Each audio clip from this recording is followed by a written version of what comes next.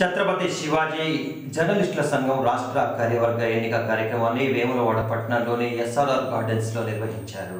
ఛత్రపతి శివాజీ జర్నలిస్టుల సంఘం రాష్ట్ర కార్యవర్గ ఎన్నిక కార్యక్రమాన్ని వేములవాడ పట్టణంలోని ఎస్ఆర్ఆర్ గార్డెన్లో నిర్వహించారు. ఈ సందర్భంగా సమన్వయకర్తలు ఆనందరావు సురేష్ చౌదరి మహేందర్ రాంప్రసాద్ తదితరుల ఆధ్వర్యంలో అధ్యక్షుడిగా ఇంగే శ్రీనివాస్ ప్రధాన కార్యదర్శిగా కుడుదల రమేష్ కోశాధికారిగా రాంప్రసాద్ ఉపాధ్యక్షునిగా సురేష్ చౌదరి వాంకే శ్రీనివాస్తో పాటు సంయుక్త కార్యదర్శిగా కుసుంబ శ్రీనివాసరావు ఆర్గనైజింగ్ సెక్రటరీగా మహేందర్ సభ్యులుగా అల్లె రామారావు బలేరావు బాబ్జీ భిక్షపతి లింగంపల్లి రాజేందర్ తదితరులు ఎన్నికైనట్లు పేర్కొన్నారు.